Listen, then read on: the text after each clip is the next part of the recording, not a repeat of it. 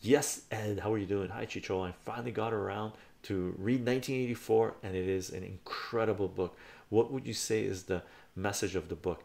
Is it that you can't beat the system? Sorry if I'm asking uh, in the wrong stream. No, no, you're not asking the wrong stream. Uh, personally, to me, uh, yes, Ed, it's not that you can't beat the system. The message of 1984 is wake the F up because if you don't wake up, this is the system that you're going to live under, okay, or future generations are going to live under.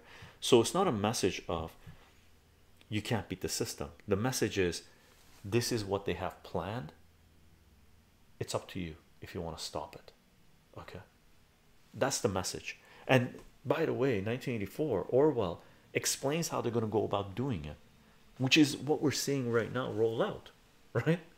Take 1984 and Aldous Huxley, put them together, add a little bit of Brazil, the movie, not the not the country. Last time I talked about Brazil, people went, Brazil's not like that. I'm going, no, Brazil, the movie, okay. Uh, Terry Gilliam, Terry Gilliam, I believe, right? Add those three elements together. This is what we got right now. This is where we had it. So, not looking good.